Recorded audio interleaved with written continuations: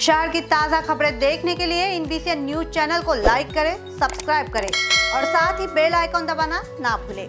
जबकि पूरा देश और समाज के सभी वर्ग कोरोना संकट के दौरान अपनी जान जोखिम में डालकर ड्यूटी पर तैनात पुलिसकर्मी मुहायना कर रहे थे। सोमवार रात आठ बजे यहाँ हुसैनिया मस्जिद चौक पर एक पुलिस अधिकारी को गाँव के गुंडों ने पीट दिया।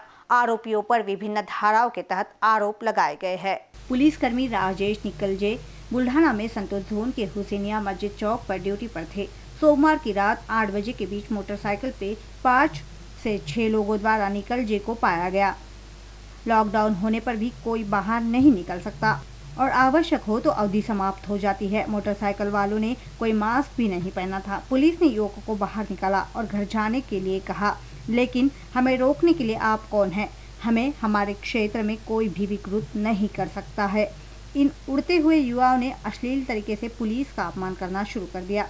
उनमें से एक ने धमकी दी कि वह नगर सेवक का भाई है। चलो तुम्हें देखते हैं। इसके बाद निकल जे ने पुलिस स्टेशन और इन छह युवकों ने उसे पीटना शुरू किया। एक ने कॉलर पकड़ लिया तो दूसरे ने हाथ में छड़ी पकड़ ली। कुछ देर बाद अन्य पुलिसकर्मी मौके पर पहुँचे। मुख्य आरोपी जावेद सहित तीन आरोपियों को गिरफ़्तार किया गया है।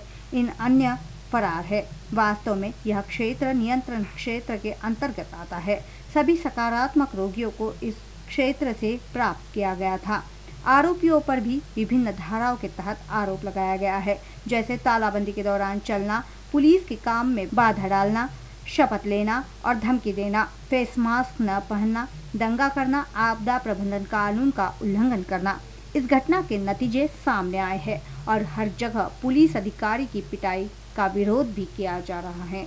रात्री आठ वाजताच्या सुमारास टिपू सुलतान चौकामध्ये आमचे निकाळजे नावाचे कर्मचारी हे कर्तव्यावर असताना त्यांच्यासमोरून चार युवक हे दोन मोटरसायकलवर जात असताना त्यांनी कुठलाही मास्क लावलेला नव्हता तसेच संचारबंदीचे उल्लंघन करत होते.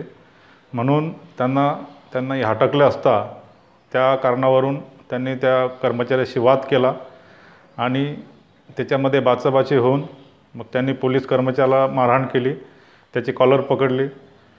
या अशा फिर्यादीवरून त्या ठिकाणी तीनशे त्रेपन्नप्रमाणे त्या युवकांवर गुन्हा दाखल करण्यात आलेला आहे. त्याच्यामध्ये तीन आरोपी अटक करण्यात आले आहे. इतर आरोपी त्यांचे नाव निष्पन्न करून त्यांचा शोध घेऊन त्यांनासुद्धा अटक करून पुढील कारवाई करीत आहोत.